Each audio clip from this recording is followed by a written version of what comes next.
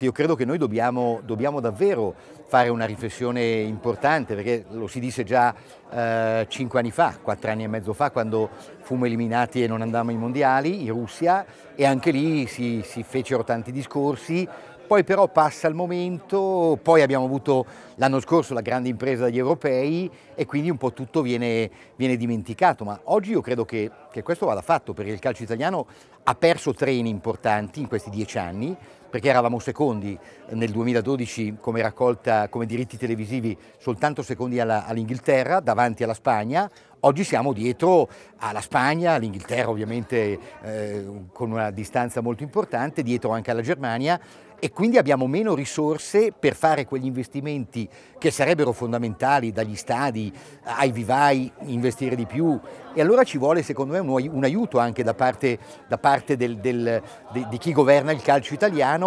per fare quelle cose che in altri paesi hanno funzionato benissimo tipo le Academy in Francia, in Belgio, eccetera, e per dare un grande boost ai vivai, perché oggi secondo me quella è la, è la, parte dalla quale noi dobbiamo ripartire in maniera molto forte, non avendo quelle risorse importanti che altri hanno, perché hanno molti più, eh, molti più diritti televisivi banalmente che non noi. Noi dobbiamo cercare un calcio sostenibile, cioè il calcio in cui ogni anno io ci metto 20 milioni non è una buona cosa, è una cosa che, che dopo un po' eh, diventa difficile sostenere, invece ci vuole un calcio sostenibile e questo va, va ripensato diciamo, come sistema perché sono aumentati i debiti, le perdite, tante cose. Secondo me ci vuole a livello generale, cioè più che fare la, la, la Superlega, secondo me si tratta di fare un calcio sostenibile in cui, in cui, metti anche dei limiti, perché ci vogliono, perché in, in momenti come questi eh,